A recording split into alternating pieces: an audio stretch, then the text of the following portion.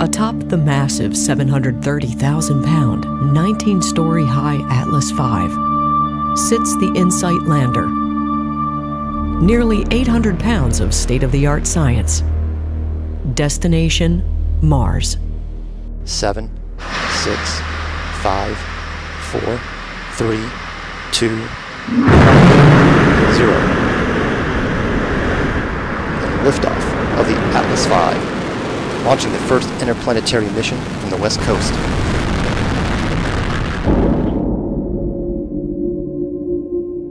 Once again, Mars is calling. For over 50 years, we've visited Mars. And a new mission is on its way to the underground world of the Red Planet. For the first time ever.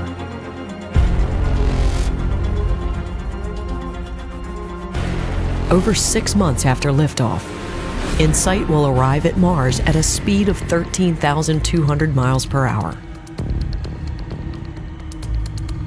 And 80 miles above ground, three and a half minutes later, it'll still be roaring along at over 900 miles per hour when the parachute deploys.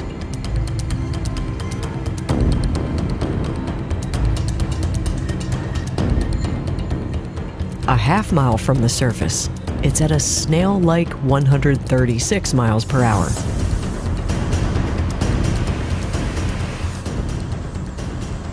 As onboard thrusters are guiding the spacecraft.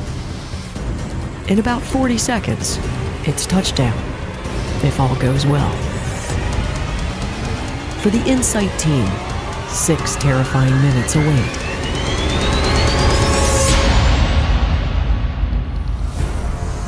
And it's back to the business of exploring Mars.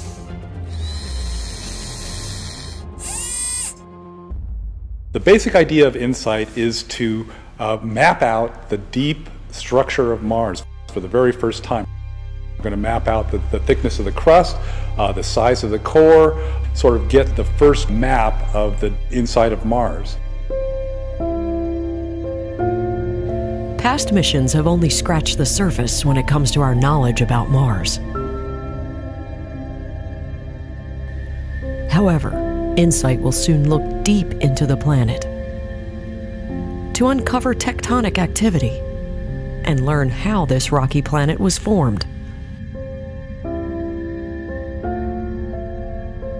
We don't know very much about what goes on 2,000 miles below the surface.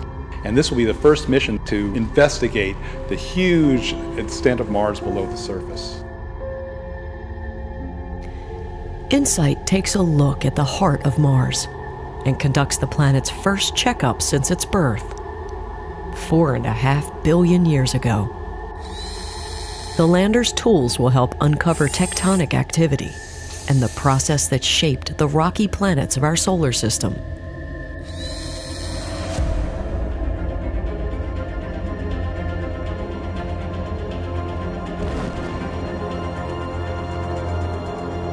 Of the primary tools, the first science instrument to be deployed will be SEIS, a seismometer to measure the vibrations caused by internal activity. It gives them an idea of what the size of the crust, the mantle, and the core are, as well as the properties of each of those. JPL built an almost identical replica of the lander and created a test bed of its landing site from satellite photos of Mars. Today, the engineers attempt to attach the wind and thermal shield to the seismometer.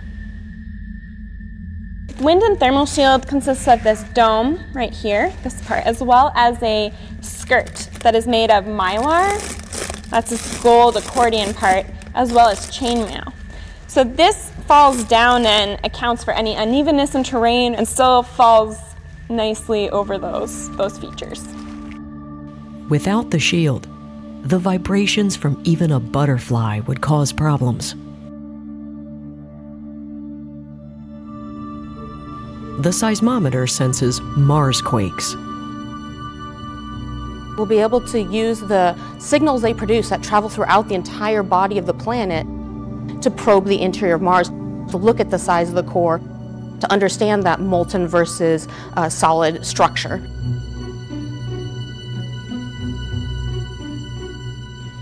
Mars is a record of an earlier geological era.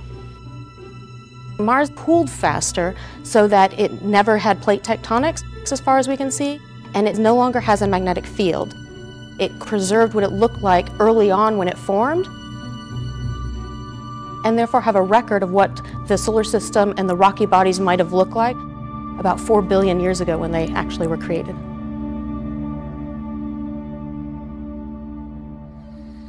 InSight took nearly 10 years of worldwide research and development, much of it in Pasadena, California, at the Jet Propulsion Laboratory.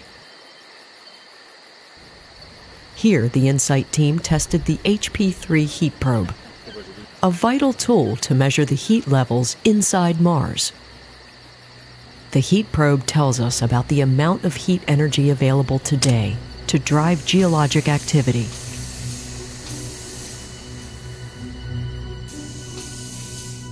the probe takes Mars's temperature.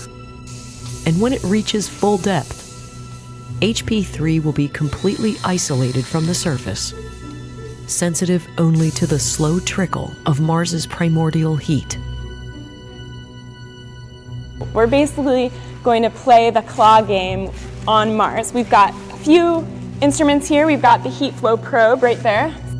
So inside this part of HP cubed, is a mole. It's like a self-hammering nail, so it'll hammer down into the surface of Mars to a depth of five meters.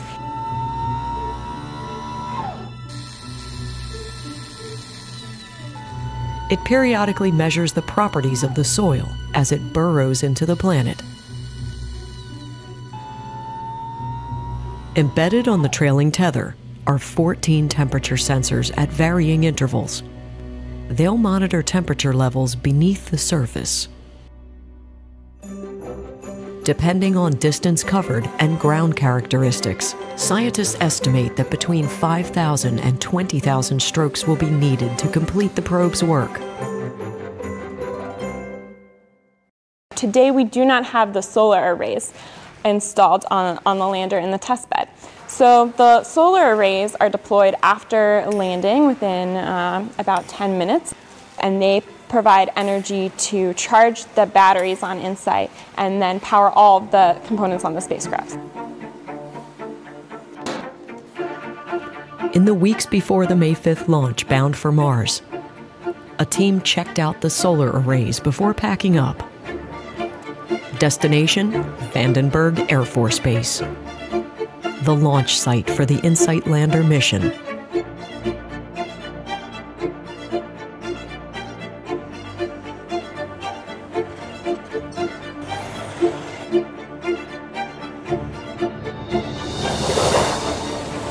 After delivery to the Air Force Base clean room, InSight got a final checkup before the May launch.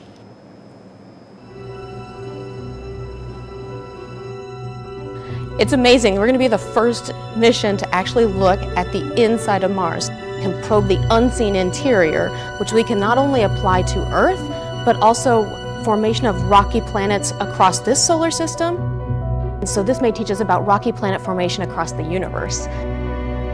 It's going to Mars to do the science, to make the measurements um, that scientifically and personally I've been waiting over 30 years for. But on November 28, 2018, we will see Mars in a new light as InSight probes the depths of the red planet for the first time.